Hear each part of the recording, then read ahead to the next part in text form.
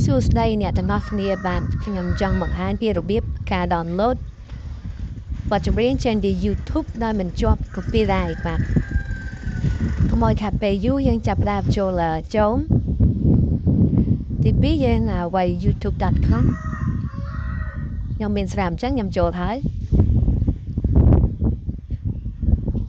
ទី3យើងចាប់ផ្ដើមចូលយក channel channel របស់ YouTube របស់យើងបាទទី4យើងចូល YouTube Studio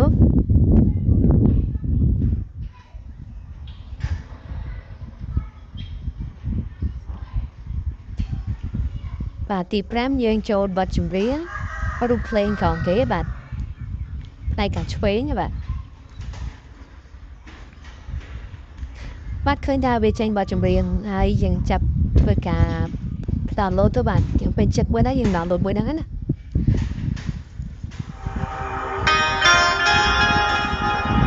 បាទឃើញថាវាចេញហើយខ្ញុំធ្វើការ download បាទវីដេអូនេះគឺមានលក្ខណៈខ្លីងាយស្រួលយើងស្វែងរកឥឡូវវាចូលទៅក្នុងបទចម្រៀងហើយបាទជួយស្ដាប់ទូរស័ព្ទបាទមានតែប៉ុណ្ណឹងដែរគឺថាយើង download ស្រួលលឿន ហើយយកទៅប្រើអត់ជាប់ copyright ទេបាទប្រសិនបើបងប្អូនយល់ឃើញថាវីដេអូរបស់ខ្ញុំបាទមានប្រយោជន៍សូមបងប្អូនអាចជួយ subscribe វីដេអូរបស់ខ្ញុំនិង channel របស់ខ្ញុំមួយផងបាទព្រោះវីដេអូនេះជាការធ្វើ